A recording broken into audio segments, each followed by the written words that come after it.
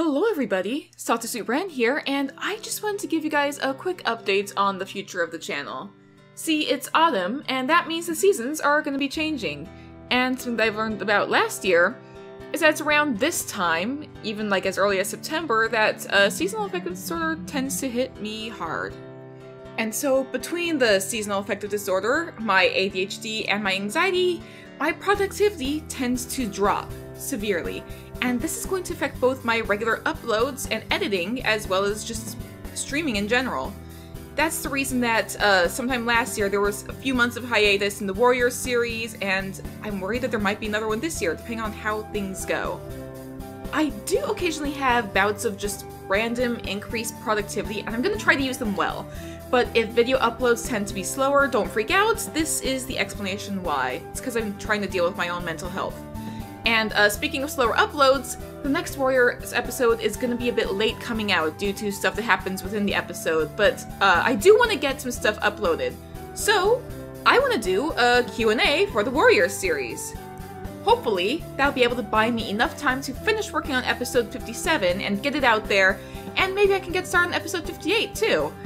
Um, feel free to submit any questions that you have about the series, or the characters, or past events that maybe I've glossed over in the just send your questions down in the comments, and I'll try to answer them in a video, hopefully.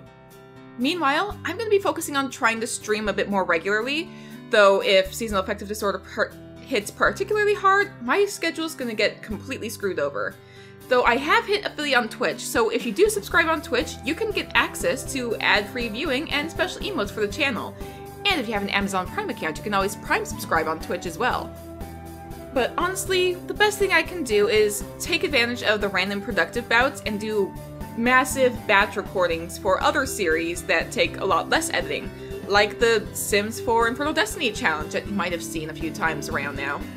I literally, I, I have 18 episodes already recorded for the Infernal Destiny challenge, and holy crap, the drama is insane.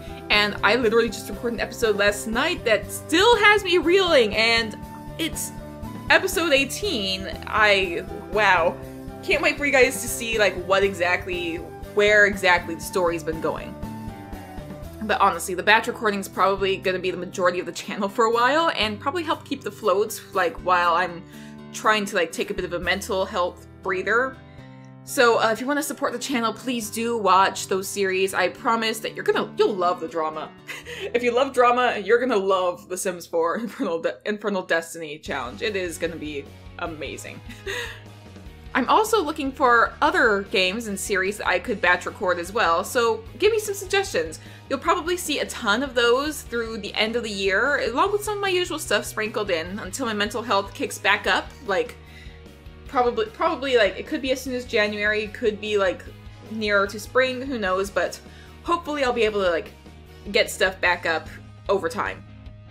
Of course, I do want to be optimistic, and maybe I'm doing this heads up in preparation for nothing, and maybe my mental health will be fine. But based off of like past years and my own knowledge of my mental health, it's probably not going to be the case, and I think it's better to be safe than sorry. But and it's also good to change things up and that's also been kind of good for my mental health. I've been really enjoying what I've been doing the past few weeks. So, anyway, all that said, I'm sorry, I know that's a lot, but uh, I hope you guys are all gonna enjoy what I can put out, and I hope you guys are all gonna be supportive as I'm trying to figure out where I'm gonna go over like autumn and winter. And uh, yeah, I will see you guys in the future. So stay safe out there, everybody.